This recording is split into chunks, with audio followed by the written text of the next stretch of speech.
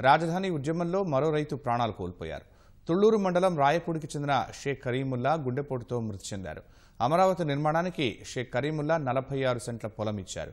మూడు రాజధానుల ప్రకటన వచ్చిన దగ్గర నుంచి అమరావతి ఉద్యమంలో చురుగ్గా పాల్గొంటున్నారు. ఉద్యమం నాలుగు వందల రోజున నిర్వహించిన ర్యాలీలోనూ కరీముల్లా ఉత్సాహంగా పాల్గొన్నారు. కరీముల్లా మృతి పట్ల తోటి రైతులు కన్నీటి పర్యంతమయ్యారు. కరీముల్లా త్యాగం వృధా కానివ్వబోమని రైతులు తేల్చి చెప్పారు.